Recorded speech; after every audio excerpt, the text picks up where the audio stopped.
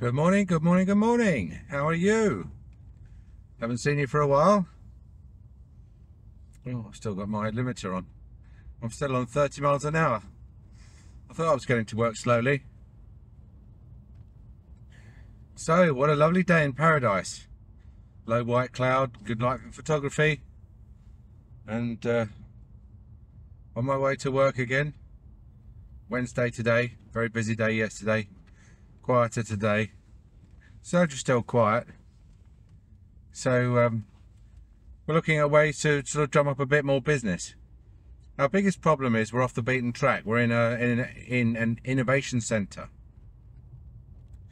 And so we've absolutely no footfall. And by the time everybody who's a patient is has been cured and you know had all the crowns and bridges that they need and told all their friends, then um, we don't. Uh, I think uh, acquiring new patients is our lifeblood. You know, our, oxygen, and uh, what we've done is we've uh, probably neglected that a bit. You know, I hadn't really.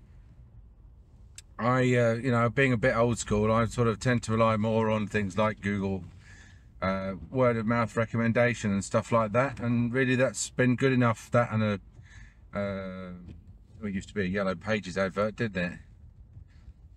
and uh, but that was more to validate the practice. It wasn't that people would sort of come to see you because of a Yellow Pages advert. What had, what would happen was people would say, "Oh, go and see old uh, Angry. He's a good dentist," and they would just look look you up in the Yellow Pages to try and find you.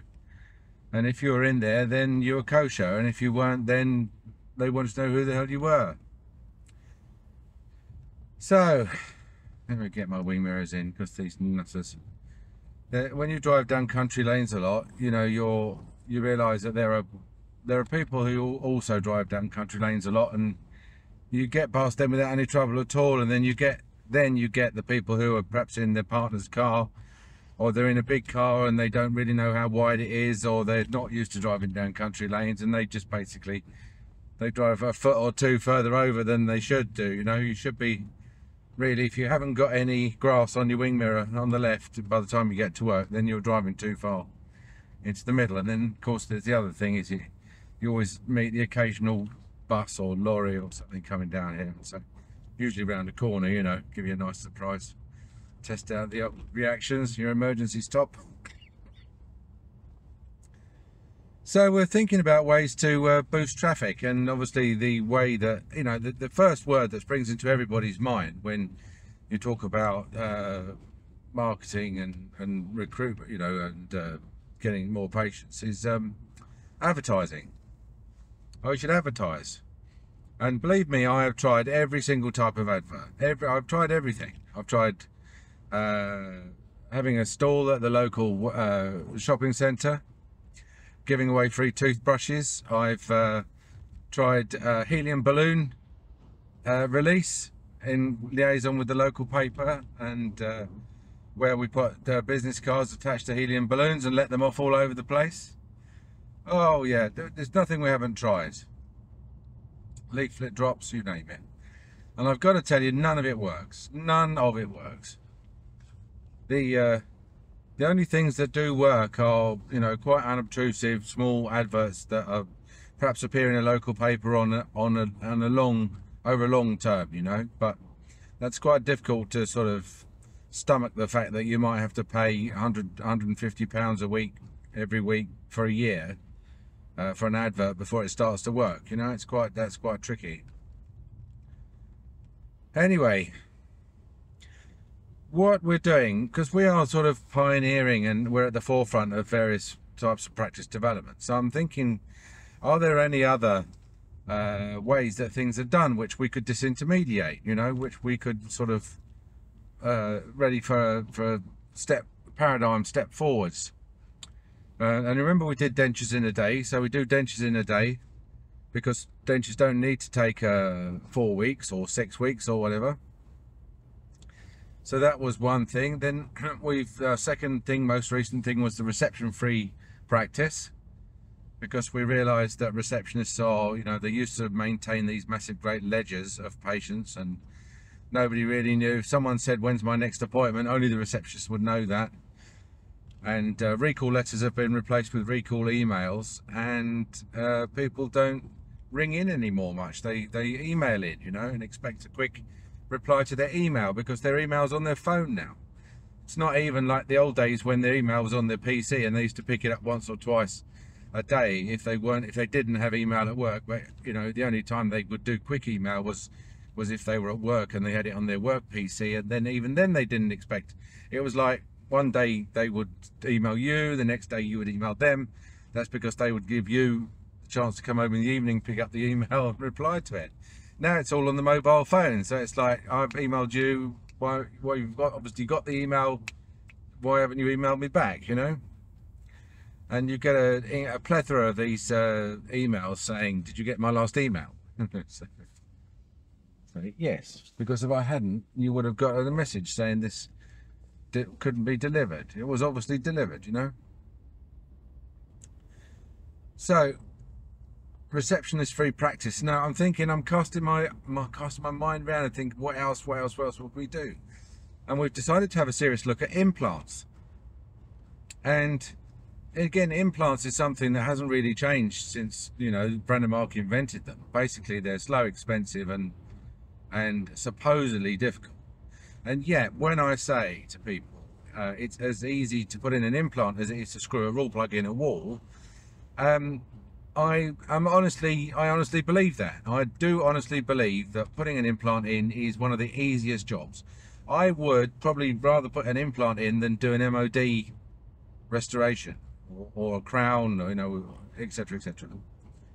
It should be so easy to put implants in. They are so advanced these days. They're so biocompatible. The the uh, the uh, morphology of the implants is so well understood. They're so well packaged the uh, we understand the, the, the speed, the whole preparation, the saline drip. It's all integrated now into these single unit uh, drills, implant drills.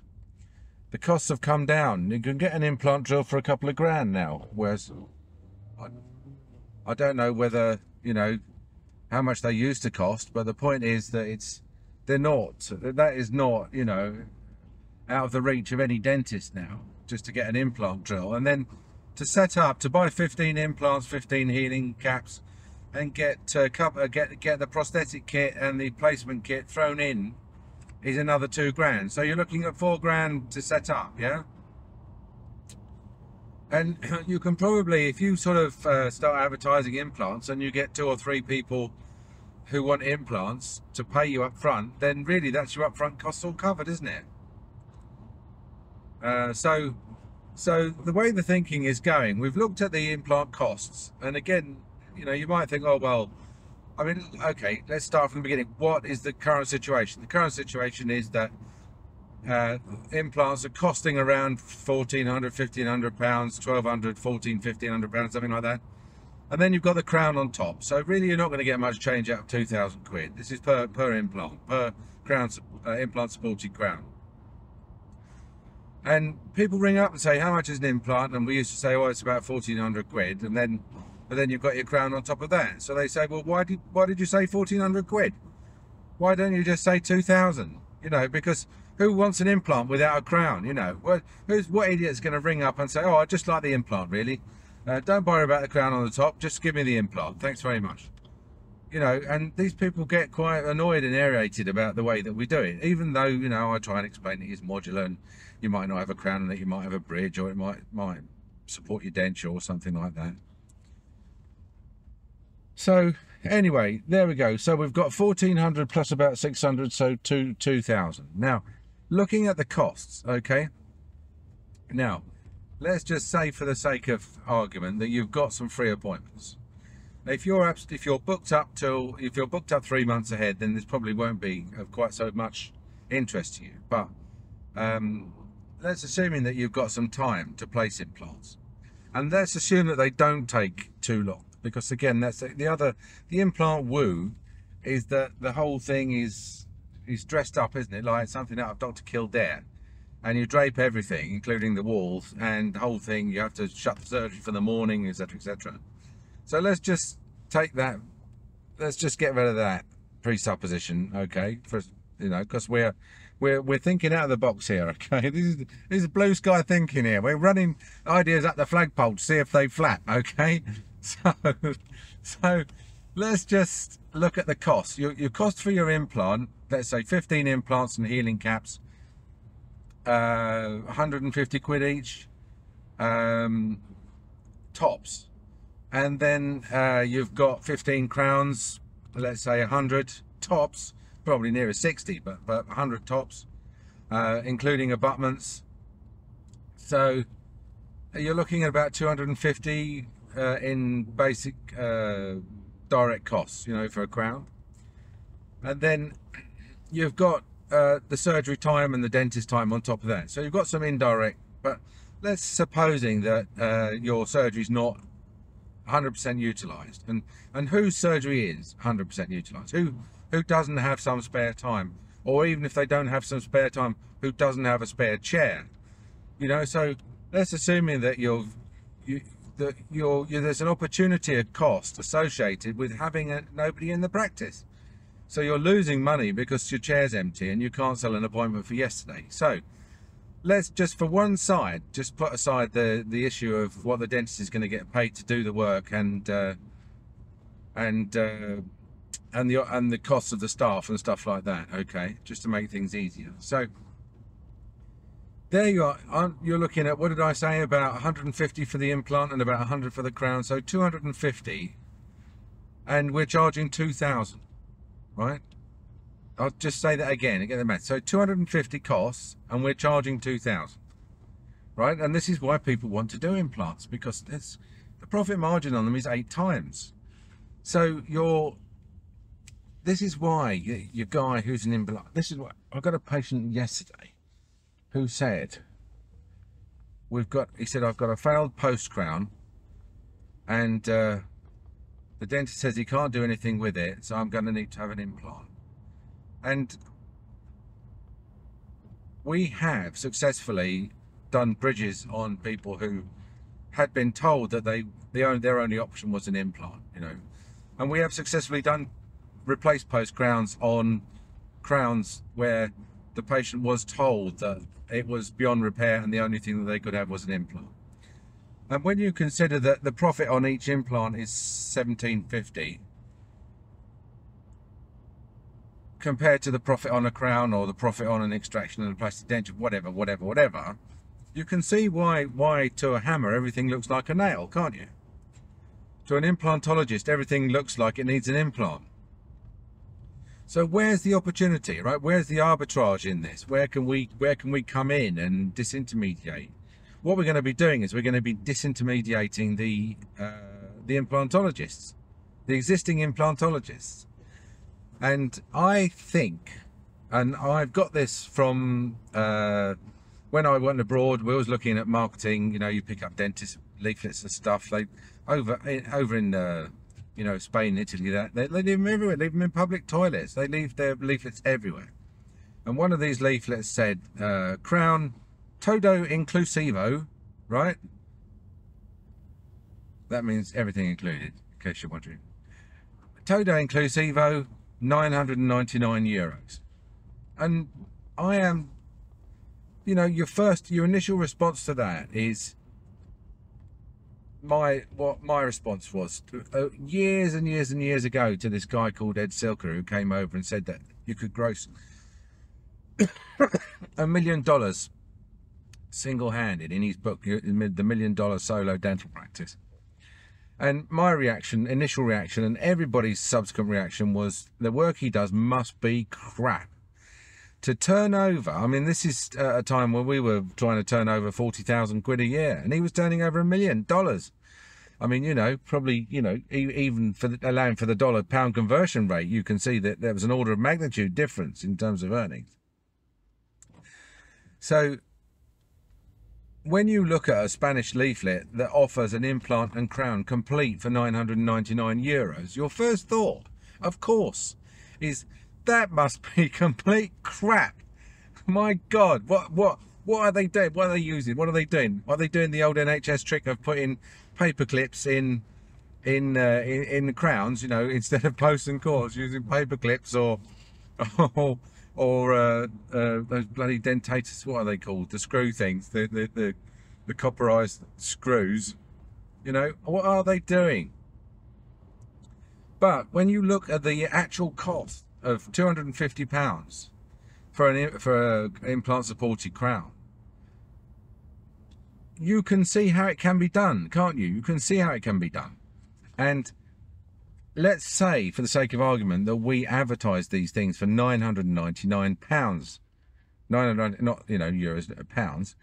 Then, oh bloody euros about the same as a pound, isn't it? Then, then that's going to revolutionise implants, isn't it?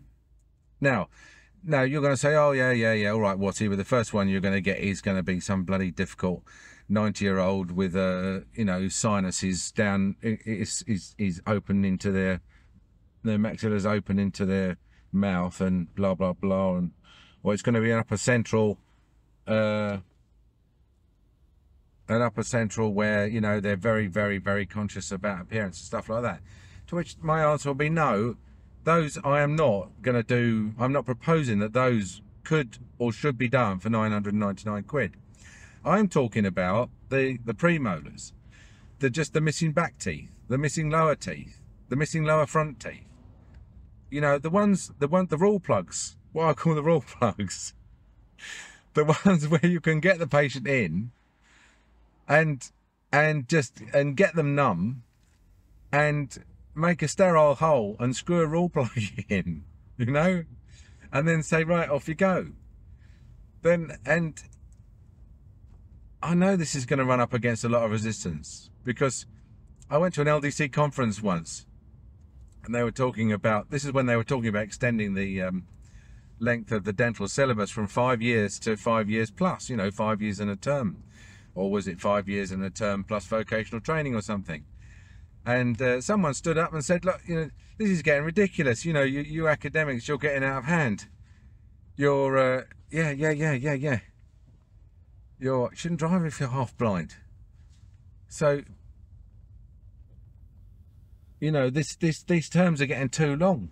And, and and because it was a conference of you know because there's a lot of academics there at the LDC conference and they're all they're all dead for this because it's empire building, isn't it? And and someone from the academic side said, well, look, you know, if you're going to tell us to cut down on the syllabus on, on the syllabus length, you've got to tell us what you can take out of the syllabus. you know, tell us what tell us what dentists don't need to know. You know, got I challenge you. Do they, what do we take out? Do we take out crowns? Do we take out bridges? Do we take out the study of aardvark teeth? Yeah, yeah. But you know, and and they and he thought that was an end to the end to the argument. But then I stood up and I said, look, my daughter's uh, in flight training at the moment, and I said she's got she doesn't have the academic qualifications to get into university into dental school. I said, but in in nine months' time, she'll be able to fly as a co-pilot on a 737. So, and you telling me that a co that a co-pilot on a 737 has any less responsibility? Or a job that's in any way easier than a dentist. And oh, oh, did they not like that? I mean, did they not like that? You know, I was saying, why, why, effectively, I was saying, why do you take five years to do something that everyone else does in nine months? And this is the, this is what the implantologists are going to say.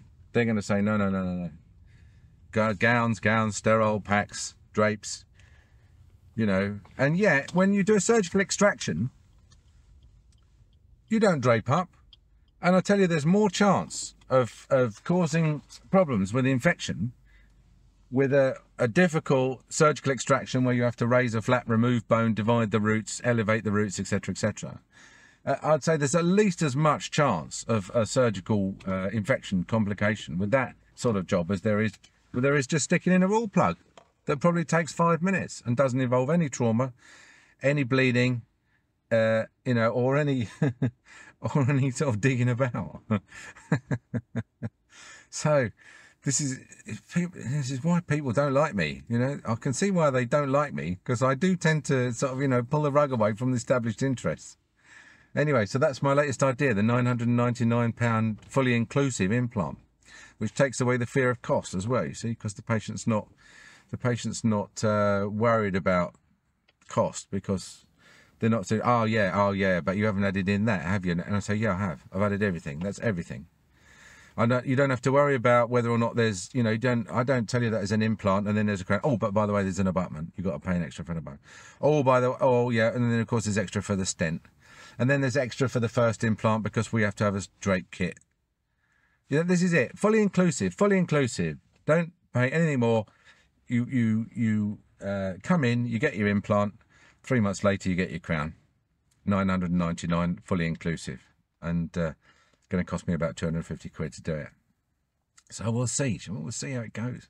I'll let you know. I'll keep you up to date. Don't you do it. Don't you nick my idea. All right.